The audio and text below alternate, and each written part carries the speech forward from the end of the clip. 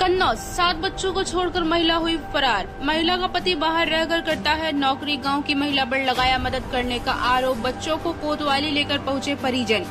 महिला के खिलाफ दी तहरीर लगाई मदद की गुहार। गुरसहायगंज कोतवाली क्षेत्र के एक गाँव का मामला। क्या हो गया हमारी सरहज भाग गई कहाँ से।